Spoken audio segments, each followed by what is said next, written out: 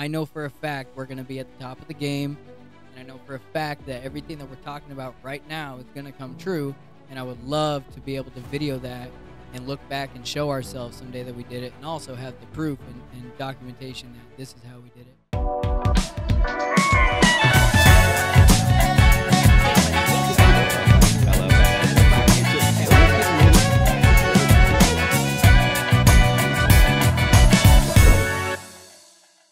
What's up, everyone? Welcome to a new episode of Real Estate Versus Technology. Big thanks to you for tuning in to a new episode. I can't believe it, over 340, 350 episodes now. Big thank you to Liftoff Agent for sponsoring the show. Be sure to like, subscribe, notification bell, and comment below with any feedback. Today, we're going to actually meet two individuals that are from the Midwest, from a very small town. They're going to tell you where they're from and they decided to come out to Arizona, Gilbert, Arizona, out of all places. Do you know where that's at? It's about 20 minutes outside of Scottsdale. Go ahead and look on the map. Let's bring uh, Jacob and Andrew on Real Estate versus Technology. They're with Midwest Out West. Welcome to the show, gentlemen. You do it, bro. So you guys are from the Midwest, and now you're here in Gilbert, Arizona. You live together. Actually, you were used to be on a guest. We had um. Shout out Justin Mercer, Call Tattoo was actually in the hot seat. He was in this studio before. You were on the team. You said, hey, you know, it's cool what they're doing. The vibe was just different, so you want to go on your own. So congratulations, first off, get in the industry, go on your own, and tell us a little bit about like, man, how did it become to where it's at today?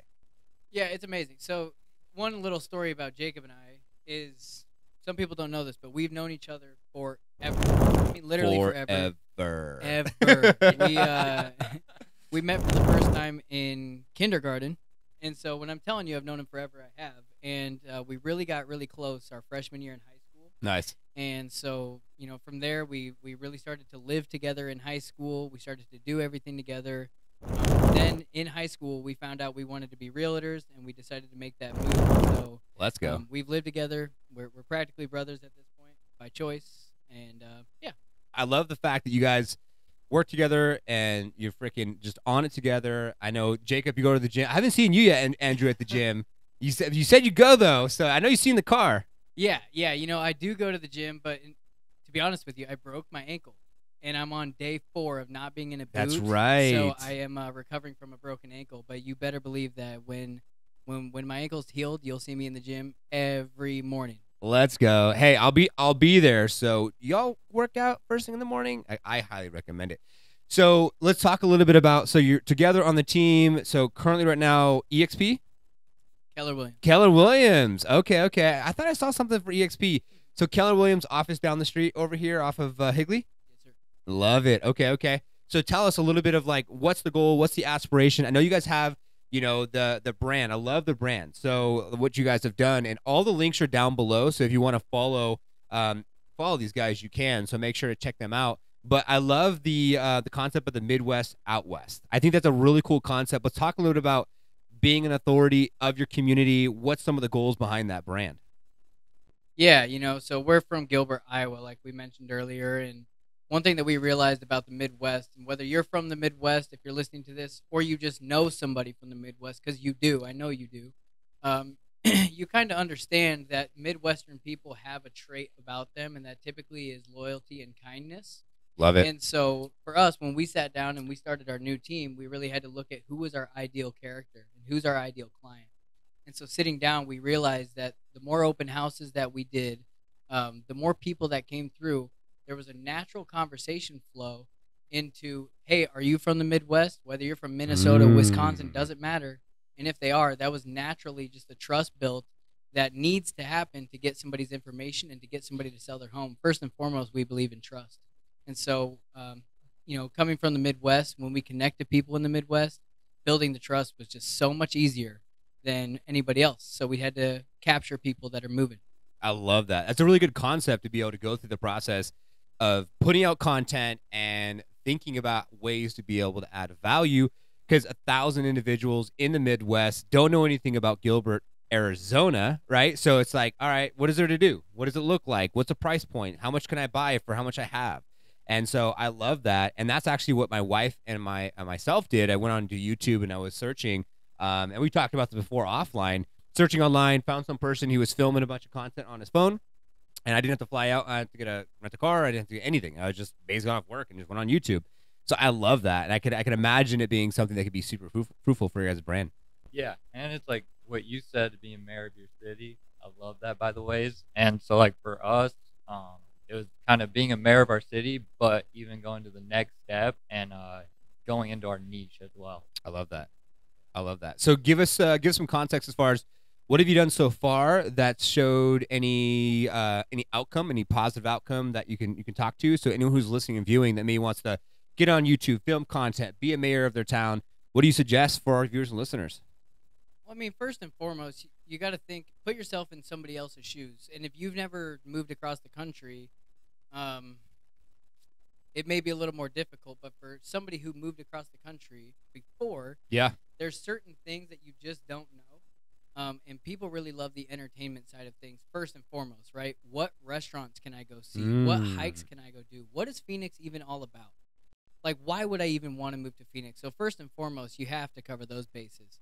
And then, if you're talking real estate, because this is a real estate Yep. podcast, then you really got to get into um, the real estate side of things. What are my personal favorite neighborhoods in here? For us, that looks like what neighborhoods in Arizona capture a Midwest environment. So if you want to feel like you're Ah. still in the Midwest, what neighborhoods such as Agritopia and Gilbert capture that Midwestern environment? And then ultimately, it's just simply doing that and breaking down hey, here's what different price points look like. And if you're looking to invest in real estate, here's what the future of that looks like. And here's, um, you know, here's some certain areas that it might do well for you in the future. So. I love that. I love that. So before we got on air, uh, we had to finish the tour. We haven't done the, the whole house tour. So I was taking them out, showing them around. So we're at a pres- this is a personal residence here in Gilbert, Arizona, and we have the studio here. And we went in the backyard, and there's a bunch of trees because of our, our neighbors. He just has this huge back. They had like 300 people and a wedding back there, a 300 person wedding. It was crazy. DJ the whole nine, and my wife says it was until 12, 1 o'clock in the morning, but it was like 11, 11.30 they were done.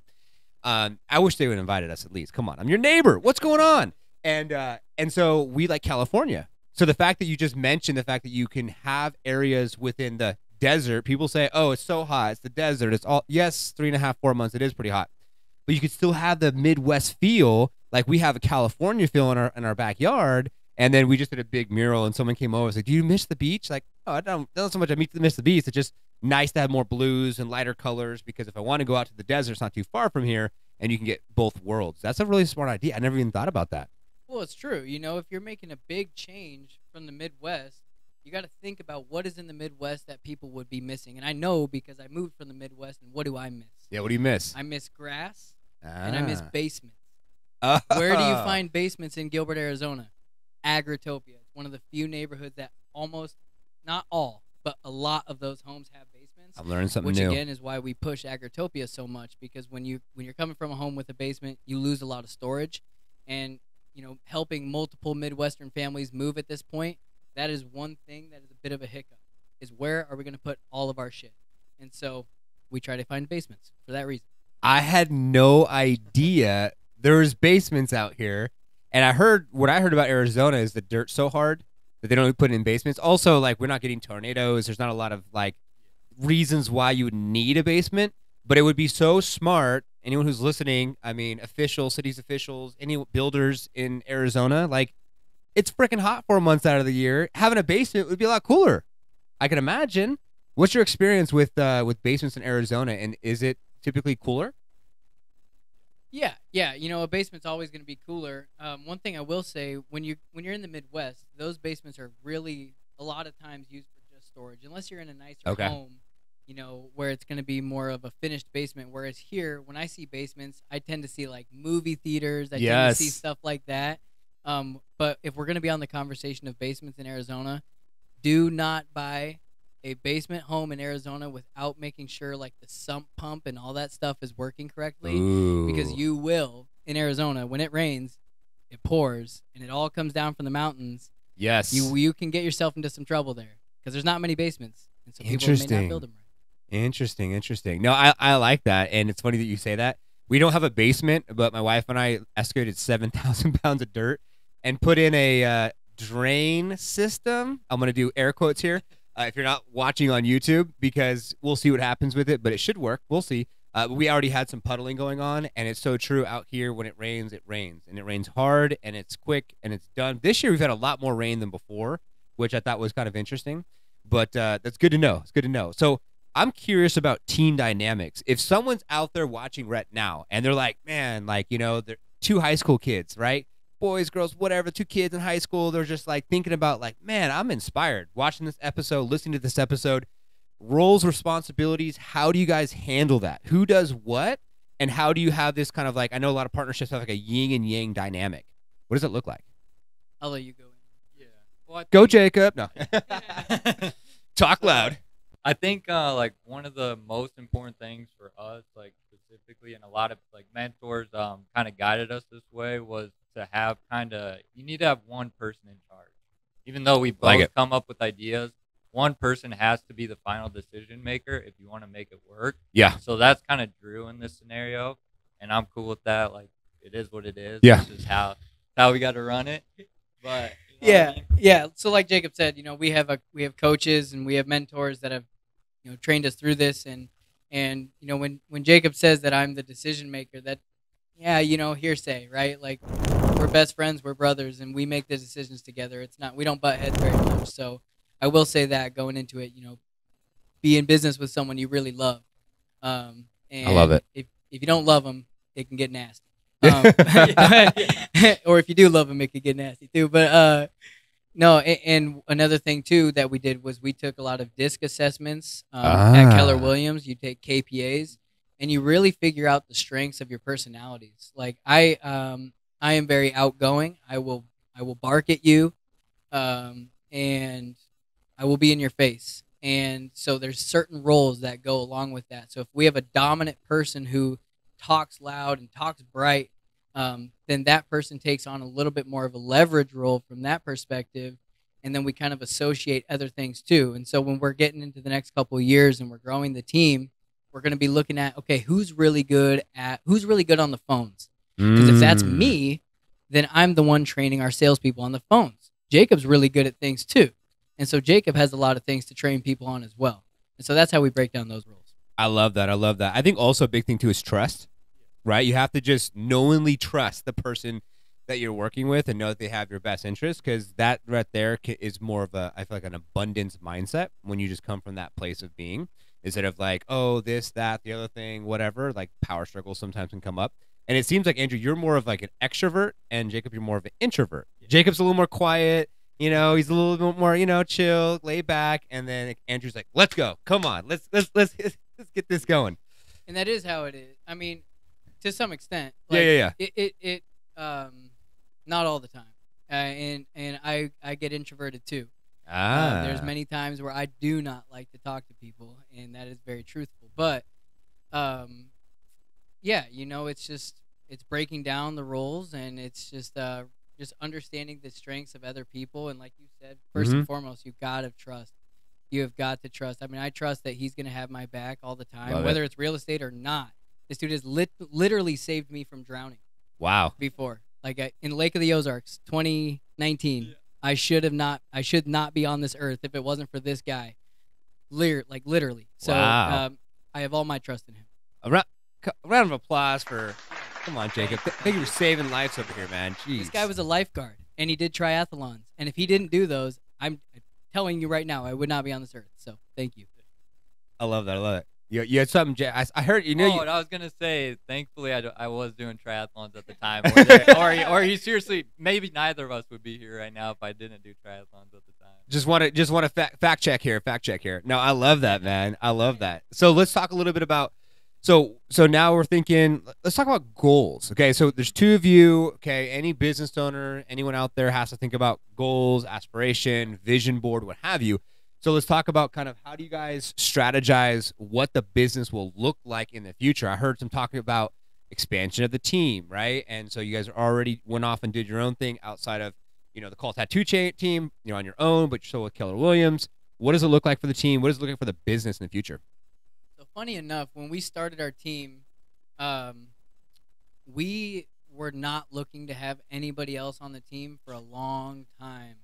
Uh, we wanted it to just be us, and, and ultimately the goal for starting the team was to have our own company and be 100% commission. uh, you don't know in real estate, if you're on somebody else's team, yeah, there's benefits to it, but you're going to be paying out a lot of money once you really start closing deals. Yep. So once you close deals, um, maybe think about making that switch. So when we started, um, like I was saying, we didn't want anybody on. And then we kind of figured out, hey, why are we actually doing this? Jacob and I had to sit down and have that conversation.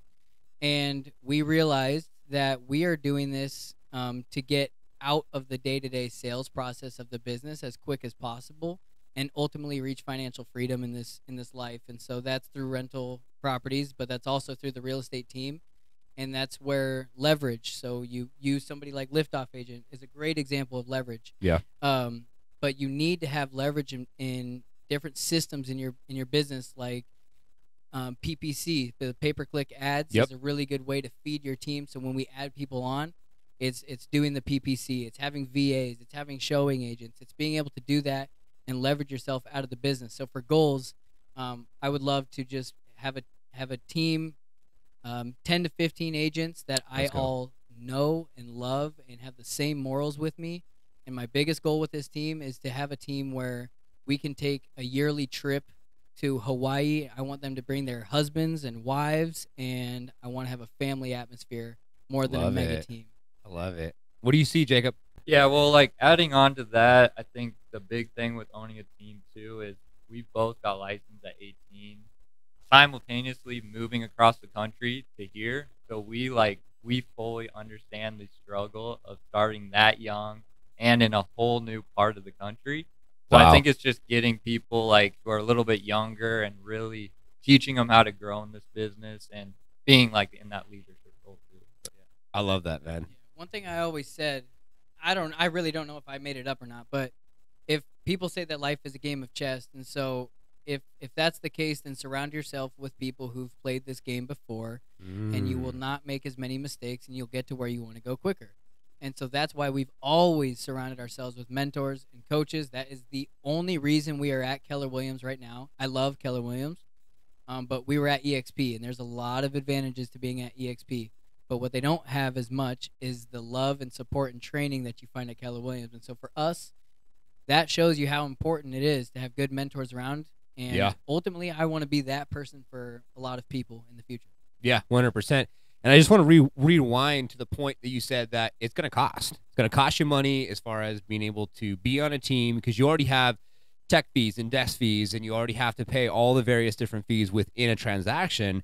Then you're on a team. Then that's another maybe unnecessary amount you have to pay. But but the thing is, I think anyone who's viewing and listening, you know, like I got a sign over here that says if your circle doesn't inspire, you don't have a circle, you have a cage.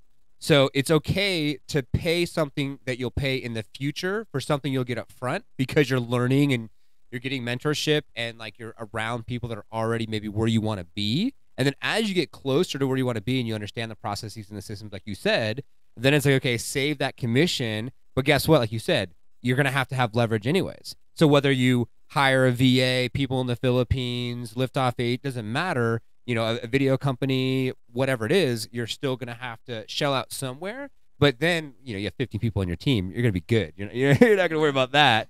And uh, and the reason why I want to ask you about kind of where you see the team is I love to have guests back on. So then forecasting for the future, I want to say you heard it here first as far as where you're going, where you're headed, what's the goals, and then we can have you back on a year or so and and see how many people on your team, where you at, what does it look like? You know what I'm saying? So I'm really excited about that. So let's get into some like content creation. What's next? Um, I want them all anyone liking like follow connect these guys. So links are gonna be down below.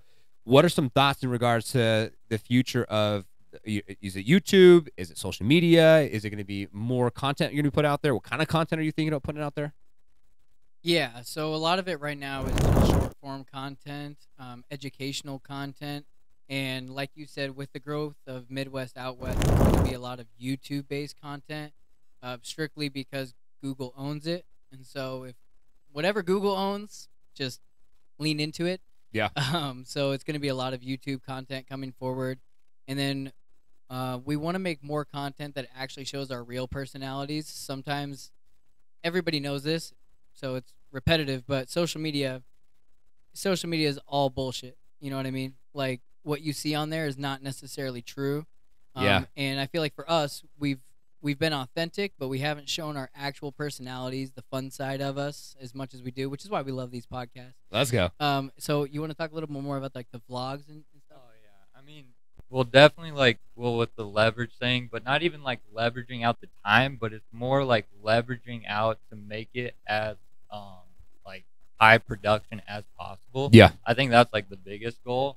So yeah, with like vlogs, we want to get to the point where we have someone filming us 100% of the time I love that. and getting like the most raw because I feel like that's like one thing in real estate that not like anyone does is getting like the full raw look at what it looks like Yes. to run your own business. Yes. Yeah, and I think Joe Rogan said it, but he said, um, man, what did he say? He said, It's coming back. It's coming back. he said, you know, like imagine if your life was a movie and you made a documentary about yourself. By the way, Kanye did this. ah. Kanye West started filming his documentary before he was famous, while he was just making music in the streets. And that's exactly what we want to do. Like I, I know for a fact we're gonna be at the top of the game, and I know for a fact that everything that we're talking about right now is gonna come true. And I would love to be able to video that and look back and show ourselves someday that we did it, and also have the proof and, and documentation that this is how we did it, and it can do it can be happening. Let's go. I love that. It's funny you say that because uh, I actually two and a half, three years of my life is on YouTube, and uh, nobody, I don't know what the hell is doing. A lot of it's embarrassing because like you're like you're talking and then you're like, what the fuck was I talking about? like you're hearing yourself, and I have one video that has like me reading off my goals, and like it's so easy. Whoever's out there viewing, listening right now, to like project. Yeah, I'm gonna make two million this year. You know, first year in business. You can. It's possible, especially in real estate with transactions, depending on price point. You just have to be more realistic, right? Sometimes until you can get your footing and you can really understand like your numbers. I love how you guys are talking about numbers and the matrix and how that looks as far as you know outputs outputs equals inputs and how much output you need to put out in order to have those inputs back and then tracking all those matrix as well. So uh, so i did that two and a half three years everything from uh, proposing to my wife the birth of our daughter going to events doing all the things. And uh, it's pretty cool man. You can I, I could say that i don't know how people are going to watch it at first but uh, it's cool to say like because you know how people go viral and people think oh overnight success right? But then if you have all that content anyone who's viewing or watching will do it yourself then like when you do go viral, then they can look back and be like, oh, look at all the stuff that they have that they were already doing that we had no idea, but now we know, and they can go back and watch all that content. Yeah, it's a bit, can I ask you a question? Yeah, go ahead. how has social media and you know video creation changed your life because i look at you and you're somebody who actually has a platform there's only a handful of people in this industry that actually have a platform um, you're one of them and i just want to know how has that changed your life inside real estate and, and outside the business too Yeah, no, much appreciated. Uh, my wife. So I met my wife on Instagram. So uh, true story. Uh, she actually uh, there's a company she was paying to like make comments and whatnot, and so she commented on one of my posts, and then I commented back, and then I slid the DMs, and then eventually she was because she didn't know it was it was just a service, right? So then we finally connected and talked and got to a point where we went on a date. She put me in the friend zone and so on and so forth. So so wife was one. Um, also, our co-host of the podcast for the online version, Dan Gandy, was also because of uh, video as well. And after COVID hit, that's when we started the podcast. It gave us an opportunity because uh, I'm gonna be dating myself here. Like there was a time where I used to go into brokerages offices. So I would always like I'd go into your guys' office and go do a presentation. I would meet agents in person in their office and sit down with the laptop and go over all their stuff and go and pull them up on Google and all the things. And then after COVID hit is when we shifted. And I closed down my office right before COVID and went digital and went virtual. And then so with the podcast has been great. Anyone listening out there, start a podcast because it can get you into rooms with people that you would never get into otherwise, right? And then you can do like an IG live, which is great. And so we'll do like this podcast, and then when we get close to going live, we can do an IG live. when the podcast goes live, or out a couple weeks afterwards, so we can drive people back. But then you can cross pollinate organically, right? So it's been ma- it's been amazing on that sense. And then um, I think not until probably last past year and a half to two years, coming out to Arizona, has has things really started to lift off, if you will. Um, closing some of our biggest client biggest clients here, which has been amazing. And then um, as soon as you get like you know a GTR and certain things, then then you get elevated to another level, and it's like and it's interesting to see how it all kind of comes together. But it's it definitely ten years in the making. 10,000 plus agents met. It was not overnight, right? And after retiring my wife and doing some other things to get to where we're at today. But I really appreciate that because I, I think to myself, I'm like, hold on, I'm gonna pinch myself. Did I just hear that? You know? but it's it's just yeah, and you got to stay humble and grateful, right? So even when you do have the platform and you start getting larger and having more success, just remembering where you came from. But it's been absolutely amazing. Without video and technology, I could say that I wouldn't be able to be where I'm at today. Um, but still, you know, I don't want to say it's not enough, but there's so much more to do.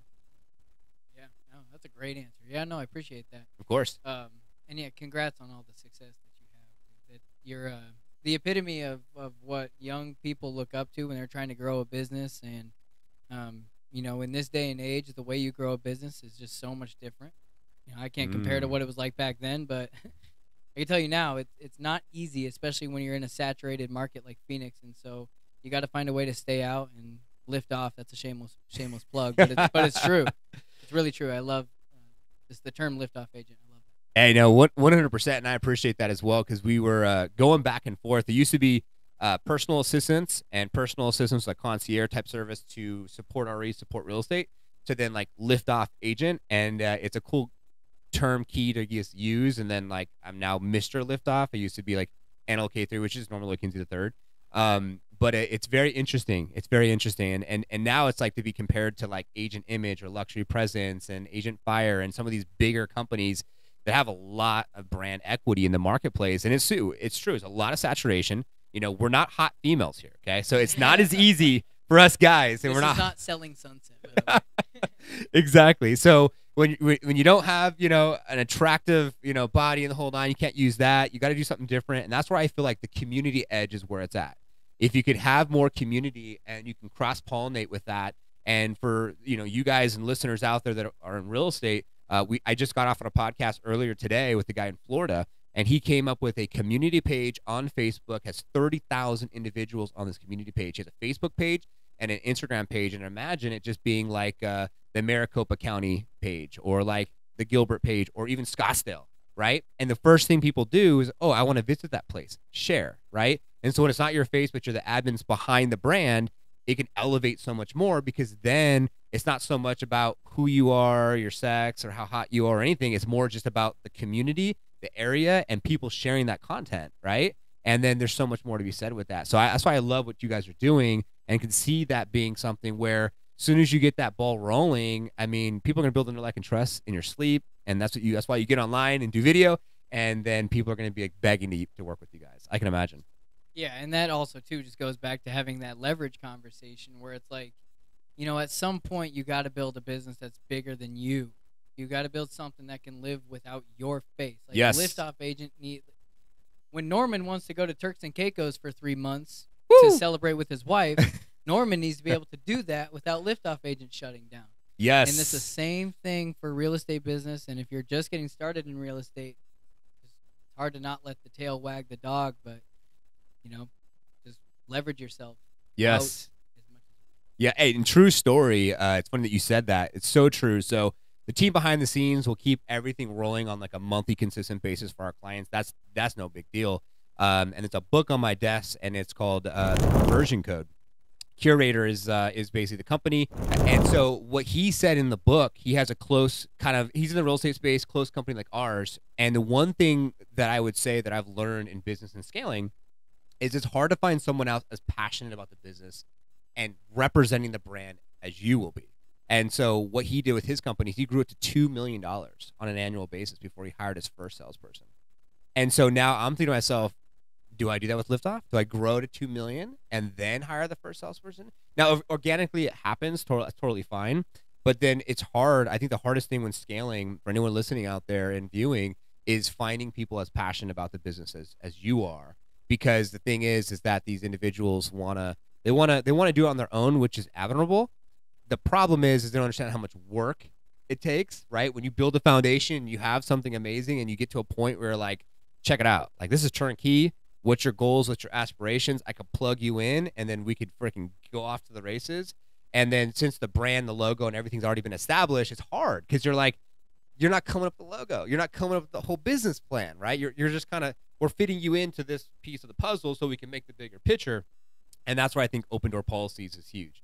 Open door policy, let people speak, let people have a vision and, and an opportunity to add to the value of the the business model and uh, and the, the the true secret sauce is how do you have them feel that they're part of the company too like it's their business as much as your business Yeah, well, I think that, that that's kind of the tricky part. Um, is and it's the same thing too. Like you don't even have to be a business owner to feel it. You talk about like even just doing content creation. It it can be really hard to let yourself out of the equation for certain things because you feel like you can do a better job than everybody Yes. else can do. yes And then, and I listened to this from the Bigger Pockets podcast. Was it was like, when do you hire VAs? When do you hire all this stuff? Um, and you got to just be able to let go of your own hand in the business and let that grow. So, I mean, first and foremost, you got to get to the point where you can actually do that. And I think Yeah. you're well on your way, and so are we. So, Amen, dude. And that's what it's about, right? Anyone viewing and listening, I hope you understand that like you're that much closer to success and not even maybe knowing it because, you know, good company, right? And people are, we're we're vibing out together. We have aspirations and goals and places that we want to go. So we're inspiring each other, which hopefully inspiring you to start something, to do something, to push harder and to have more success, right? And and not just, you know, cuz, you know, unfortunately misery likes company right? And you know you got to get away from people that don't push you don't challenge you don't support you. And that's why i wanted to vibe out with you guys. We met for the liftoff agent side and then i said hey let's get on the podcast. You guys come in talk about where you're at and then let this be encapsulated because this could potentially be your guys' like opportunity to now start filming behind the scenes and be like all right that one podcast we said that we're going to start documenting if you haven't already done so and then you just continue that documentation. We'll get you back on a year, and who knows what could freaking happen, dude. I'm just putting it out. I- I'm manifesting for you, bro. I don't know. I don't know how accurate that is, but no, I appreciate that. Have you ever read the book Vivid Vision by Cameron Herold? I have not. But I'm gonna have to check it out. Check it out. Vivid vis- vision, huh? Yeah, yeah. So that's something that we um we did a long time ago, and I could go back and pull it up and read it. But it was actually when we were not even licensed yet. We were 17 or 18, and uh, we wrote out what the next five years would look like, and it would be a news article in the perspective talking about us five years from now. Where would we be? And it was owning our own team. It was doing social media um, and it was it was laying out those goals and so going back to where you were and how do we let people come into the business and grow? And, and you're right like there was a time where no one cared about apple more than steve jobs. And that was probably a very long period of time and that's the same same way for any company. But when you're able to really lay out your vision you lay out your morals and what matters to you i feel like it's a lot easier to get people on board. And jacob does a good job at um, you know being there and and making me feel like we're on the right path too. And then Love so um, you know having him on my side is just incredible I love that. I love that.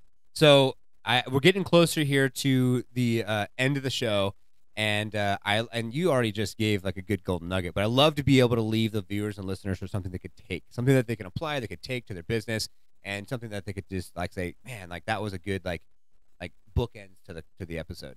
So in closing, someone's out there, they want to start their business, they're they're getting ready, they're still in grade school, they got they got a best friend, right? And they, they want to go down the same same path. You know, of course, go back to the episode. There's lots of gold nuggets. I love what you just said for forecasting for the five years. But um but different perspective, both of you guys. Let's start with Jacob. What do you want to leave for them as we close out the show today? I think the biggest thing for me is I know a lot of people say it, but just take the risk. I mean, moving here from Iowa at 18 years old was a massive risk. Starting our own team at 21 years old was a massive risk. Um, doing building the team with like your best friend, some people would say that's a massive risk, but I can't like imagine where where we'd be at if we didn't take that risk. So Let's that'd go. be my biggest thing. What do you got, Andrew? I have two. Um, one is for real estate people, and one is just for younger people in life. But we'll start with the real estate one first. Um, the real estate one is for the first two to three years of your business, and this is not something that I was told. I had to figure this out because I came in with the perspective that I was going to come in, make a hundred thousand bucks, and be chilling at 18 years old, and that didn't happen. um, for the first two to three years of this business, um, you might feel like nothing's ever happening. Mm. Like you might feel like you're driving on ice, is what I like to say. And yes, you're having great conversations. Yes, you're holding open houses open, but nothing is transacting. Why? You got to realize that the the conversations that you are having now are building you for a year and a half from then. And so Mm. right now, when we're able to look at our book of business for 2024 and 2025, this is the first time that we've been able to sit down and be like, "Hell yeah, we Let's got go." we got stuff coming."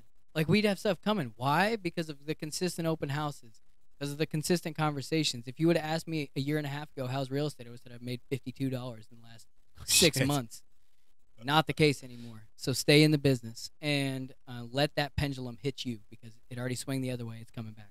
Mm. Um, and then for life, I said this on another podcast, but I just love it so much. I'm gonna say it again. Life comes in seasons, and season one is so much different than season two. And the older you get, the more you figure this out. And you might have something to chime in on this too. Um, but when every season's gonna have some downfalls for sure. Like you are gonna contemplate whether or not you made the right move. Moving to Arizona, we've contemplated that before. Even though we're very advantageous about it, there's still many times that we've sat back and said, "Damn, did we make the right move? Should we move back to Iowa? Should we move to Florida?" Was an option at one point, and we didn't. Um, and so, just stay in your lane. Life comes in seasons, and season two is better than season one. Season three is better than season two, and just keep growing. Wow. Boom. Applause on that one. Let's go.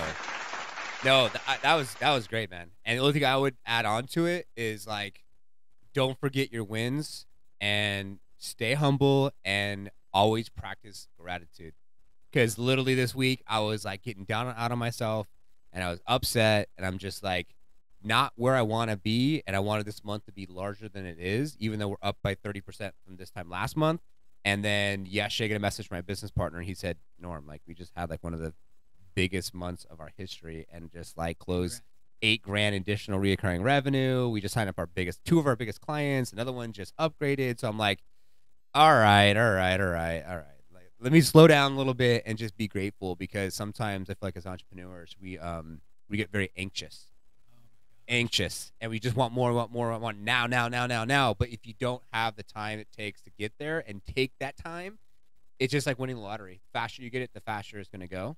So you have to like build up like those muscles. You're not gonna have big muscles overnight because if you did, taking steroids, you're gonna have a whole lot of other issues. So there's, I think there's a reason why you're supposed to just take it step by step. How do you practice? Every morning, first thing before I get out of bed. Yeah. Every morning.